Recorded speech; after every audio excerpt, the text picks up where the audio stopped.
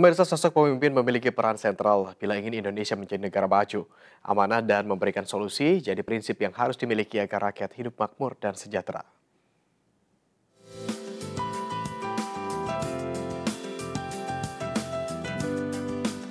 Beragam persoalan di negeri ini mulai dari minimnya lapangan pekerjaan, tidak meratanya pembangunan infrastruktur, hingga sektor ekonomi dan pendidikan yang masih timpang harus segera diatasi. Butuh sosok pemimpin yang tepat agar hal tersebut tidak berlarut-larut. Tak sekedar amanah, pemimpin masa depan perlu punya visi dan misi, memberikan solusi tepat untuk membangun Indonesia menjadi negara maju.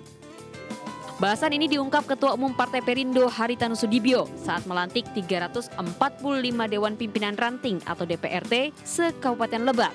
Berikut pengurus sayap Kartini Perindo, LBH Perindo, Rescue Perindo, Garda Raja Wali Perindo, serta Barisan Penjaga atau Baja Perindo se-Provinsi Banten di Rangkas Bitung pada minggu petang. Jelang Pilkada Serentak 2017, HT mengingatkan agar rakyat bisa memilih calon pemimpin yang tepat Indonesia bisa maju bila tiap daerah, khususnya yang tertinggal, bangkit dan mengembangkan potensinya masing-masing. Ya kalau kita bicara secara garis besar kita membutuhkan pemimpin yang bisa memberikan solusi lah. Indonesia itu perlu banyak yang harus dibenahi. Banyak daerah itu kurang pekerjaan. Jadi bagaimana kita mampu menciptakan pekerjaan di daerah-daerah. Kalau kota besar mungkin banyak ya.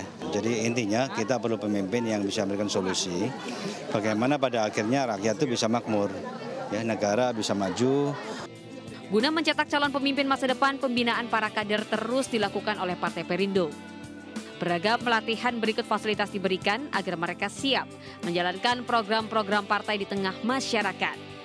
Dan dengan begitu, perjuangan Partai Perindo yang ingin Indonesia sejahtera bisa lekas terwujud. Dari Kabupaten Lebak, Banten, Tim Liputan MNC Media melaporkan.